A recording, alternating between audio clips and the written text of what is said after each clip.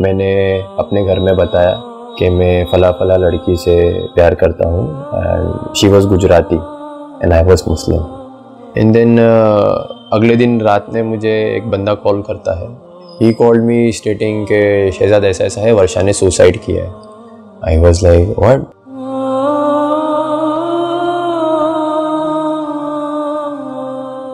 मेरा नाम शहजाद अकरम सिद्दीकी है। मुझे जून सिक्स 2020 को पननगर पुलिस स्टेशन ने स्टेटमेंट के लिए बुलाया था। और देन वहाँ पे उन लोगों ने मुझे अरेस्ट किया। मेरा नाम पूछा, आप कहाँ काम करते हो? क्या जॉब करते हो? एंड आप वर्षा को जानते हो क्या? मैंने बोलता है यस तो बोला उसको पता है इस वक्त वो कहाँ है? मैं बोला हाँ मुझे सुनने में आया है कि उनकी डेथ हो गई है। And then while taking statement they said that तुमको भी अरेस्ट किया जाएगा। And they arrested me then and then मैंने अपने घर में बताया कि मैं फ़ला फ़ला लड़की से प्यार करता हूँ and she was Gujarati and I was Muslim तो मैंने उसकी मम्मी से इस बारे में बात की। देन उनके मम्मी ने कहा कि कैसे होगा, आप मोमेडियन हो और हम लोग गुजराती है, हमारे इसमें नॉनवेज वगैरह। उसकी family members brothers was not supporting क्योंकि मेरे साथ में कांटेक्ट में है, उसके भाई उसको मारते थे, उसकी मम्मी उसको बहुत गाली गलोच वगैरह देती थी।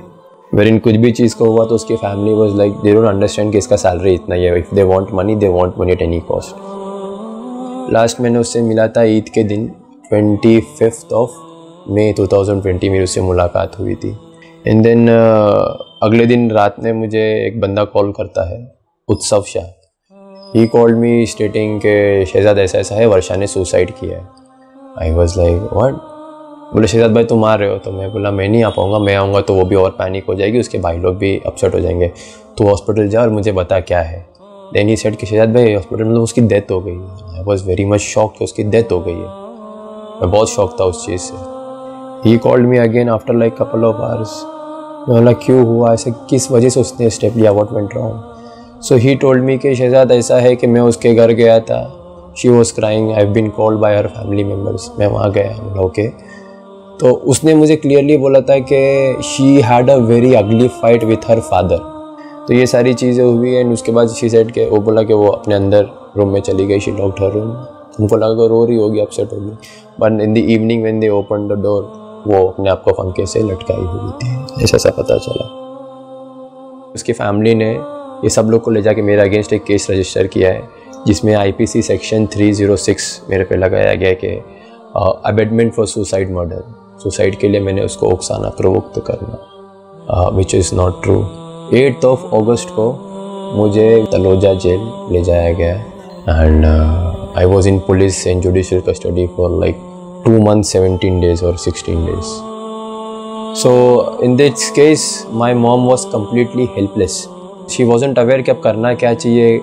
लॉयर वकील पुलिस से कैसे डील करना चाहिए? She was not at all उनको कुछ भी नहीं पता था। This was completely new for my entire family so बहुत प्रॉब्लम हुई बट देन uh, अल्लाह के फजल करम से हमारी सोसाइटी में एक हज़रत है सुल्तान खान साहब करके। मेरी अम्मी की उनसे बातचीत हुई कि बोले मेरे बेटे को ऐसा ऐसा हो गया है ये ये है तो उन्होंने बोले कि एक फाउंडेशन है अलबीर फाउंडेशन बोले वो ऐसे लोगों की हेल्प करते आप एक बार उनसे बात करो। तो उन्होंने एक बार अलबीर से बात की और मेरे अम्मी को फिर रिकमेंड करके यहाँ भेजा गया। मेरी मम्मी यहाँ पर आए एफआईआर का कॉपी वगैरह यहाँ पर सबमिट किया। And based on the discussion Albeer foundation decided to help my family Albeer foundation ने एक लॉयर अपॉइंट किया मेरे लिए। वो was the very good lawyer session के काफ़ी अच्छे नामचीन लॉयर है वो, इशरत खान साहब। When I was inside jail custody मैंने इसे बहुत से लोग देखा है। ओवर लाइक वो बेगुनाह है। जिसके दो महीने का छोटा बच्चा है किसी की शादी के हफ़्ता भर हुआ है। बहुत से कम लोग हैं जिनको पता है कि ऐसी भी कोई फाउंडेशन है जो ऐसे लोगों की मदद करती है। It's not only about like Muslims it's about humanity so I am very much thankful to Albeer foundation and the lawyer वो फाइटिंग फॉर मी वो work really hard to get me out of that jail custody and I really pray जो लोग वहाँ पर अंदर है उनके लिए भी और जो ऐसे बाहर ऐसे कई लोग हैं जो तकलीफ़ में इसी तरह से ये हेल्प uh, चलती रहे। एंड इन इन फ्यूचर जैसे ये फाउंडेशन है, जैसे कि मैं काम करना शुरू करूँगा I will be also try to be a part of this foundation so that I can also help other people in मैं ज़रूर उसमें कोशिश करूँगा। अल्हम्दुलिल्लाह, पिछले 12 सालों में ऐसे ही 400 से ज़्यादा लोगों को प्रोजेक्ट आज़ाद के तहत जेल से रिहा करवाया जा चुका है और ये मुमकिन हुआ है आपके ताउन से। इसलिए इस रमज़ान में अलबिर का भरपूर ताउन करें। और इस प्रोजेक्ट में आप इंटरेस्ट की रकम भी दे सकते हैं। साथ ही एटीजी सर्टिफिकेट के तहत अपने इनकम टैक्स में भी बेनिफिट पा सकते हैं। ज़्यादा जानकारी के लिए दिए हुए नंबर पर रहा करें। सपोर्ट अलबिर